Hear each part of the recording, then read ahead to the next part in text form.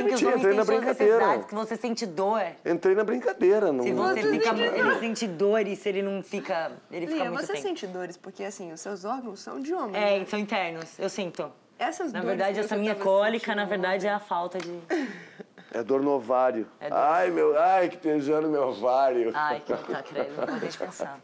Um Ai, que coceira no ovário. Será que não é?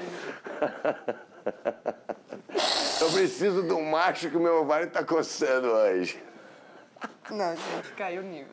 Total, Eu lá, cara, eu ele consegue ir até Eu não sei brincar, né? Preciso Eu não sei brincar, Não né? sabe brincar, meu. Por que você faz isso assim? Ah, vocês começam dizendo que eu tô fazendo... Por que vocês pegam? Faça você mesmo. Tortura, cara. Já não basta como se não bastasse estar no paredão, eu vou ter que limpar a casa. O Lias tem que lavar esse tapete. Nossa, sabia que eu sonhei? Lembrei o que eu sonhei hoje. Eu sonhei que eu ficava, que toda hora eu vou ali no confessionário fico pedindo coisas e eles nunca dão nada e eu me sinto frustrada, porque eu acho que eles não gostam de mim. E eu sonhei que eu tava, é, que eu fui lá e pedi um aspirador de pó. Nossa, isso Olha, aqui é meu, toque, cara. Isso que é toque. Nossa, ela sonhou que pedia um aspirador.